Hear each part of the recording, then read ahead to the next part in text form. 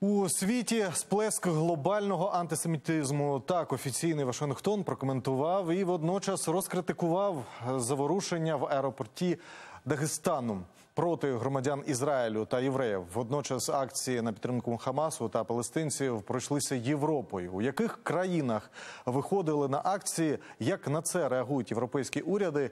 Та чи можуть призвести нещодавні заворушення в Росії до так званих єврейських погромів? Дізнавалися наші кореспонденти. Отсюда все, руками, ногами, все забыть. Это метро ограждение, решетка, все вынести. Дагестан, російська Махачкала. Тамтешні чиновники прийшлися аеропортом і показали наслідки дії розлюченого натовпу, який потрощив будівлю литовища зовні та зсередини. Шукали ізраїлітян. Почали кабінки, хтось зверху залез. На второму этаже вообще там разгромили. За інформацією російських телеграм-каналів, в неділю ввечері сотні людей прорвалися до Махачкалинського аеропорту через прибуття туди літака з Тель-Авіва, на якому нібито перебували біженці з Ізраїлю. Перш ніж добратися до борту, дагестанці трощили приміщення та кімнати аеропорту, а свої дії виправдовували відверто антисемітичними закидами. Мовляв, шукали євреїв. До слова, частина з так званих активістів прибули туди з палестинськими прапорами. На улице разъя- разъяренная толпа, которая не знает, откуда мы прибыли и зачем. Вполне возможно, мы тоже попадем под раздачу. из-за того, что там разъяренная толпа, с которой не может справиться ни Росгвардия, ни Русармия, ни там какая-то Альфа, ни президент Дагестана, э, мы сидим до сих пор в самолете, и нам подают только воду. І дійсно, силовики навіть не намагалися розігнати натовп і припинити його агресивну, а подекуди дику поведінку. Натомість у пошуках євреїв псевдоактивісти перевіряли навіть омонівські автівки. Даже ОМОНовские машины проверяем. Иншаллах найдем І оточили одного чоловіка. Його прийняли за єврея, забрали паспорт і почали допит. Что мимо нас не прошли! А?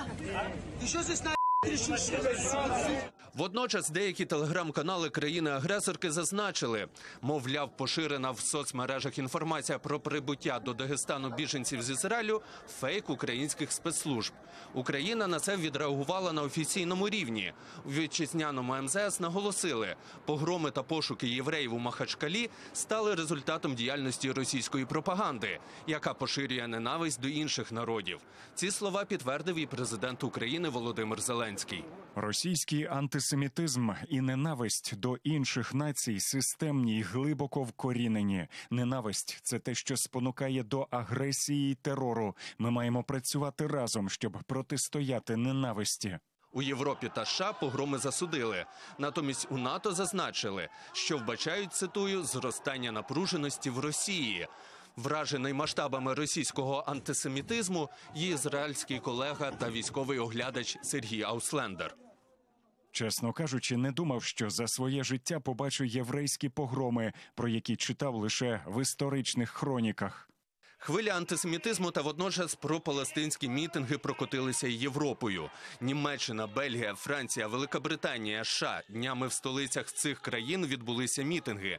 Тисячі людей вимагали свободи Палестини, а ізраїльтян прозвали колонізаторами. Ще раніше на підтримку палестинців виступив президент Туреччини Ердоган.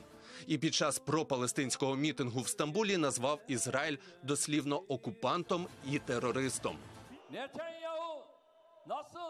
Ізраїлю, як ти сюди потрапив? Ти окупант. Турки знають це. Чи призведе ескалація на близькому сході до по-справжньому глобального антисемітизму, зокрема в Європі? Достеменно спрогнозувати неможливо. Натомість у російських так званих змі, а також телеграм-каналах, уже не виключають, що єврейські погроми можливі. Юрій Куций, Владислав Політ, подробиці телеканал Інтер, марафон. Єдині новини.